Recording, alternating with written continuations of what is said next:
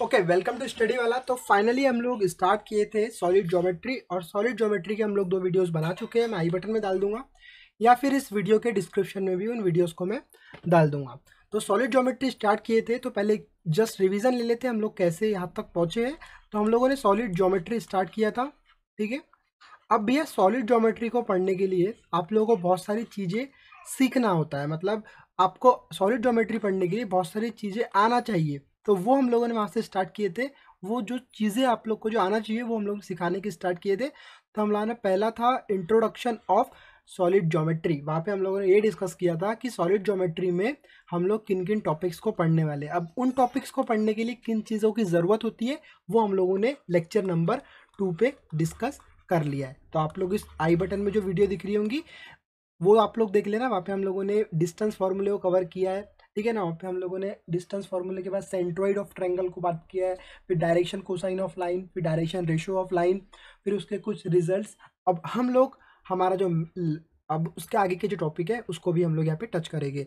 तो हमारा जो टॉपिक है, वो है आज का प्रोजेक्शन प्रोजेक्शन आपको समझना बहुत इंपॉर्टेंट है और ऐसा कुछ नया नहीं है। आप लोगों ने इसको इलेवेंथ में भी पढ़ चुका है और ट्वेल्थ में भी पढ़ चुका है और अभी आप लोग को बीएससी में इसको फिर से एक रिवीजन के हिसाब से पढ़ना है और फिर आगे तो आप लोग को इसको पढ़ना ही है। तो अभी पढ़ लोगे तो बहुत अच्छा हो जाएगा। तो प्रोजेक्शन अभी हम लोग समझते हैं। देखो प्रोजेक्शन को हम लोग पहले उसकी डेफिनेशन देखेंगे और फिर उसका एग्ज़ाम्पल देखेंगे और फिर उसके क्या पॉसिबल हो सकता है, वो भी देखेंगे और उसका जो रिज़ल्ट है, वो भी देखेंगे। हम लोग कोई भी टॉपिक पढ़ रहे हैं तो उसके हम लोग रिजल्ट्स के ऊपर डिस्कस कर रहे हैं। और रिज़ल्ट काम काम में आते हैं आप लोग को? जब हम लोग उसके इक्वेशंस को सॉल्व करते हैं और उसी में जब हम लोग हाई लेवल का जब पढ़ाई करते हैं तो वो आपके रिज़ल्ट वो काम पर आते हैं। ठीक है? तो अभी हम लोग पढ़ रहे हैं प्रोजेक्शन तो मैं एक डेफिनेशन लिखा देता हूँ, फिर हम लोग एग्ज़ाम्पल से समझेंगे। The projection of a point the projection projection of a point, of a point on a line, on a line common सी बात है सॉलिड ज्योमेट्री पढ़ रहे हैं लाइन का बहुत बड़ा रोल होता है। तो यहाँ पर भी प्रोजेक्शन में हम लोग उसको लाइन के ज़रिए समझेंगे। तो the projection of a point on a line is the foot of the perpendicular is the foot of the perpendicular इस वर्ड का मीनिंग आप लोगों को समझना है। परपेंडिकुलर ऐसा लिखेंगे हम लोग इसको। तो ये जो फुट ऑफ़ द परपेंडिकुलर का मीनिंग क्या होता है? अभी हम लोग इसको एग्ज़ाम्पल के तौर पर समझेंगे। From the point of the line ठीक है? From the point of the line from the point of the line okay तो अब ये जो मैंने लिखा हूँ, मैं इसको आप लोग को एग्ज़ाम्पल के तौर पे समझाता हूँ। क्या लिखिए तो projection of a point on a line मतलब एक प्रोजेक्शन होगा एक लाइन पर। तो कॉमन सी बात है, यहाँ पर एक लाइन काम करेंगी तो मैंने एक लाइन यहाँ पे ड्रॉ कर लिया। मैं इसका नाम दे देता हूँ आप लोगों को। यहाँ पे पी कॉमा क्यू दे देता हूँ। अब बोलता है on a line on a line का मतलब ये होता है, उस लाइन के ऊपर is the foot of the perpendicular हम लोग जानते हैं परपेंडिकुलर क्या होता है। फुट ऑफ़ द परपेंडिकुलर मतलब ग्राउंड लेवल से कोई लाइन अगर ऊपर जा रही है तो इट्स कॉल्ड एज परपेंडिकुलर ये होता है उसका साइन तो इस पॉइंट को हम लोग नाम दे देते हैं ए तो अगर आप लोगों का यहाँ पे थोड़ा सा दिमाग चल रहा होगा तो यहाँ पर मैंने प्रोजेक्शन पूरा बता दिया हूँ। तो क्या आप लोग बता सकते हो, इसमें से कौन सा पॉइंट को हम लोग प्रोजेक्शन कहने वाले हैं?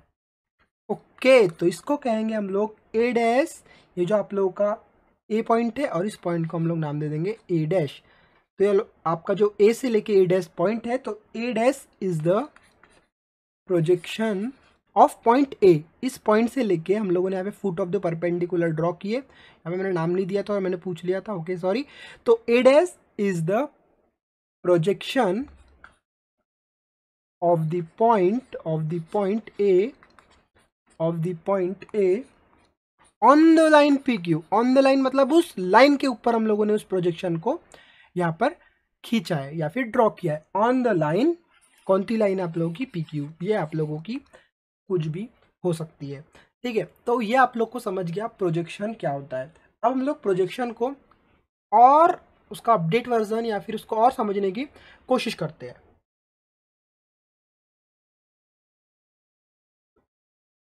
उसको कर लेंगे हम लोग यहाँ पे।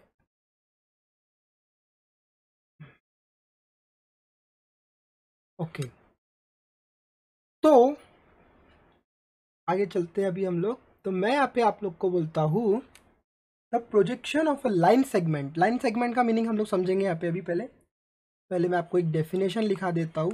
The projection the projection of a line segment of a line segment एक आपका क्वेश्चन आना चाहिए कि, सर, ये मैंने ए डैश पॉइंट लिया था, ये मेरा ए पॉइंट था तो अगर मैं इस लाइन के ऊपर दो प्रोजेक्शन बनाता हूँ तो क्या होगा? तो कुछ इस तरह का ही हम लोग यहाँ पे लाइन सेगमेंट का लाइन सेगमेंट दो लाइन सेगमेंट को हम लोग यहाँ पे अभी यूज़ करेंगे। अपने मन में क्वेश्चन आना चाहिए कि एक प्रोजेक्शन एक लाइन पर है तो दो आ सकते हैं क्या? तो वो भी हम लोग करके देख रहे हैं। ठीक है?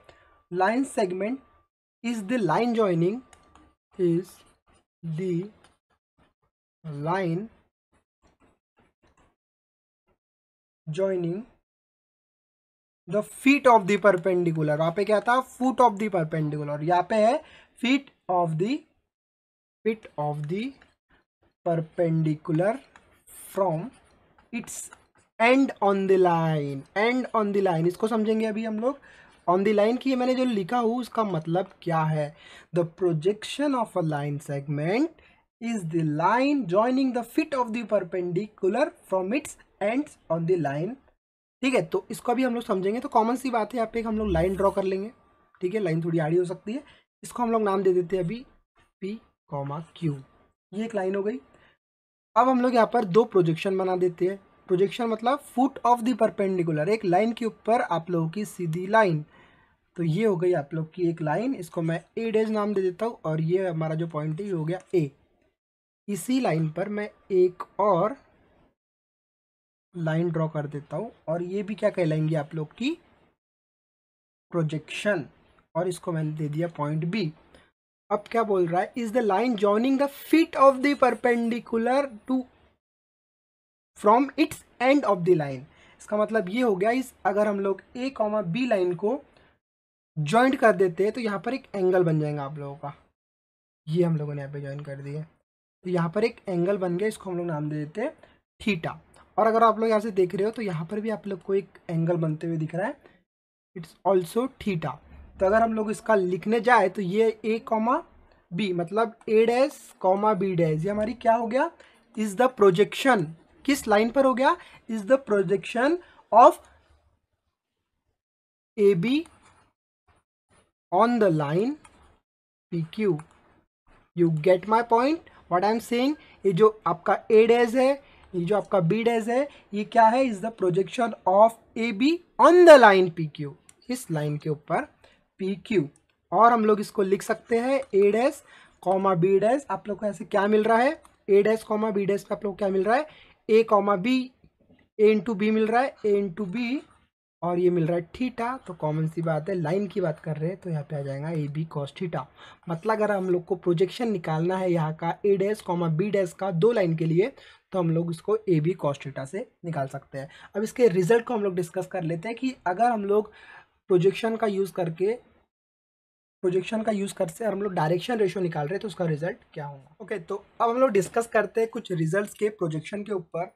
तो यहाँ पे आप लोग इसको एडिंग दे सकते हो रिजल्ट्स ऑफ़ प्रोजेक्शन ठीक है रिजल्ट्स ऑफ़ प्रोजेक्शन ठीक है तो मैं क्या कर रहा हूँ अभी हम लोगों ने जिस चीज़ के ऊपर बात की है प्रोजेक्शन क्या होता है प्रोजेक्शन एक लाइन है आप लोग का ए कॉमा बी यहाँ पर मैं एक परपेंडिकुलर ड्रॉ कर रहा हूँ। ए पॉइंट हो गया। तो ये जो ए डैज है आपका, ये क्या आपका प्रोजेक्शन है। तो the projection of the of the join of two points मैं यहाँ पे टू पॉइंट्स के ऊपर बात कर रहा हूँ तो मैं इसको लिखा देता हूँ आपको। The projection the projection of the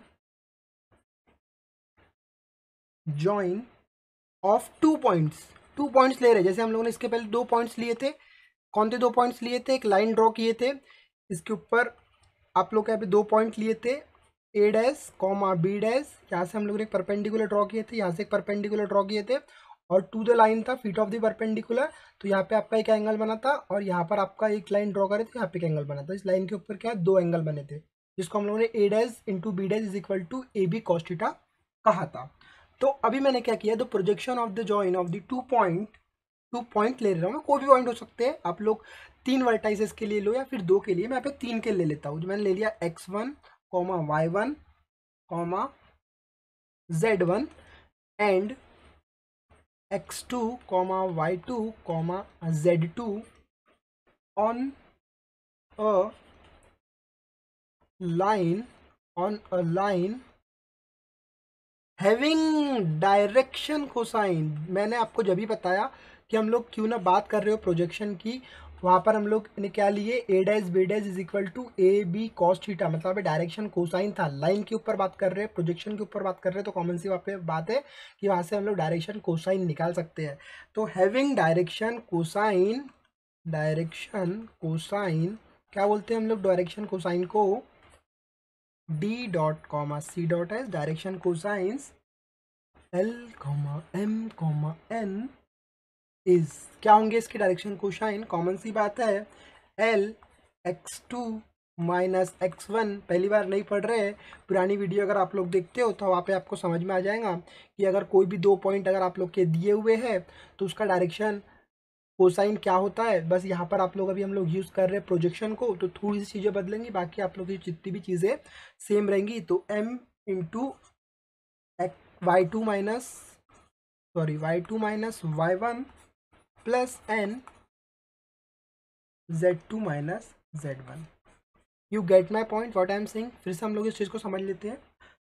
The projection of two two points अगर दिए हुए हैं the projection of the join of two points अगर दिए हुए हैं दिस पॉइंट्स आर दिस तो on a line having direction cosine अगर दिए हुए L comma M comma N तो उसका जो रिज़ल्ट होगा वो इस तरह से आप लोग के सामने कुछ होगा। तो आप लोग को यहाँ पे याद ये चीज़ें रखना है, बस ये अगर दो पॉइंट्स आप लोग को कहीं पे दिए हुए हैं डायरेक्शन कोसाइन के साथ तो उसको सीधा मल्टीप्लाई करना है और X two minus X one Y two minus Y one Z two minus Z one ये कैसा तरह से आता है, ये हम लोगों ने इसकी प्रीवियस वीडियो में डिस्कस कर चुका है। तो इस वीडियो में हम लोगों ने समझा प्रोजेक्शन क्या होता है। तो अभी हम लोग इसकी अगले वीडियो में, वीडियो ज़्यादा लेंदी ना होकर के लेक्चर नंबर थ्री पर डिस्कस करेंगे प्लेन के ऊपर और प्लेन के कुछ रिजल्ट्स देखेंगे और फिर हम लोग देखेंगे द स्ट्रेट लाइन तो अभी हमारा जो सीरीज़ चल रही है, क्या चल रही है? हमारी चल रही है सॉलिड ज्योमेट्री हम लोग सॉलिड ज्योमेट्री को पढ़ रहे हैं और ऐसा बिल्कुल भी नहीं है सॉलिड ज्योमेट्री आप लोग पहली बार पढ़ रहे हो। इसके कुछ टर्म्स को आप लोगों ने इलेवंथ और ट्वेल्थ स्टैंडर्ड में पढ़ लिया है। जस्ट हम लोग यहाँ पे रिवाइज कर रहे हैं और कुछ अच्छे टॉपिक्स को पढ़ने के लिए अपनी जो आप लोग का बेसिक्स है उसको परफेक्ट कर रहे हैं। तो हम लोगों ने सॉलिड ज्योमेट्री स्टार्ट किया था। पहली वीडियो में उन्होंने डिस्कस किया डिस्कस किया कि किस तरह से हम लोग सॉलिड ज्योमेट्री में किन किन चैप्टर्स को पढ़ने वाले हैं। उसके बाद हम लोगों ने बात किया सेकेंड में बेसिक्स ऑफ़ सॉलिड ज्योमेट्री वहाँ पे हम लोगों ने डिस्टेंस फॉर्मूले के ऊपर बात किया सेंट्रोइड ऑफ़ ट्रायंगल के ऊपर बात किया डायरेक्शन कोसाइन डायरेक्शन रेशो उसके कुछ रिज़ल्ट और इस वीडियो में हम लोगों ने बात किया प्रोजेक्शन क्या होता है और उसका छोटा सा रिज़ल्ट तो अगली वीडियो में हम लोग बात करेंगे प्लेन के ऊपर और द स्ट्रेट लाइन और उसके कुछ रिजल्ट्स के ऊपर. तो इस वीडियो में इतना ही. अगली वीडियो में हम लोग फिर मिलेंगे. अगर आप लोग इसकी पूरी प्लेलिस्ट देखना चाहते हो तो आई बटन में क्लिक करो या फिर इस वीडियो के डिस्क्रिप्शन में जाओ। तो इस वीडियो में इतना ही। अगली वीडियो में हम लोग फिर मिलेंगे। जब तक के लिए गुड बाय